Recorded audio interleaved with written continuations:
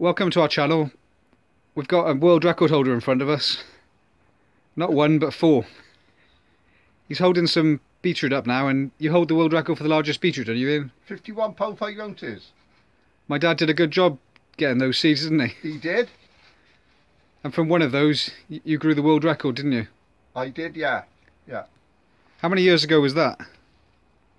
1994. You remember that well. so we've grown some some beetroot up here, and you've also grown some beetroot. So we're going to swap some. Last year we had a couple go to seed, and Peter Glazebrook posted on the Facebook page about not planting the beetroot too early because they are prone to go into seed.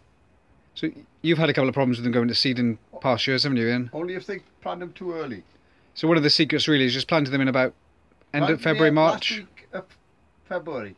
That's right, yeah. So you've kindly brought four up. We're going to have a go with those. We'll plant two of our own and two of yours, and hopefully four of them won't go to seed. But you never know growing giant vegetables. Anything can happen. They can go rotten. Absolutely anything can happen. You're pushing them to the extremes, aren't you, Ian? You are really. Yeah. So have you got any tips on growing the beetroot? I grow mine the same as I grow the Swedes. So have you got anything special that you use? Come on, you must have a couple of secrets. No, I haven't. No, they're all on the videos. So, we we get, I tell you everything I do and, and, what I use. There's no secrets in this game, really, is there? All there is, but uh, Come on then, tell us a secret. some people don't tell you them. Yeah, you're right there.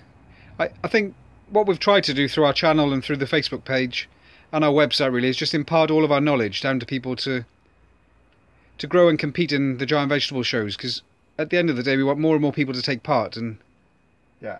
imparting our knowledge and expertise. You you gotta get to know your soil. It's, I was saying before about Dave Thomas growing the the world record parsnip.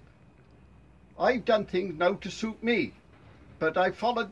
All I've done is improved on what he taught, told us. But you still haven't got over that 17 pound barrier. No, Maybe this year, Ian. we're we're lack of sunlight is our trouble. I think with those beetroot now, you're going to be planting them in the ground. Yes, I gotta plant them towards the week weekend. Yes, And then they'll just. How far apart will they be? four foot, Four foot apart. four foot apart. So the leaves will probably grow They What, will two- grow, two, three feet? They'll be touching by the time the shows are on, yes. In fact, the Swedes are three metres apart, which is roughly nine feet.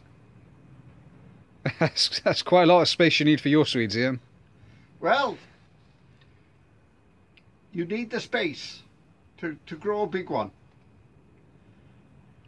Apparently, when we went to the Giant Pumpkin Commonwealth, you, you were talking about big ones, and I'm not sure if they were vegetables.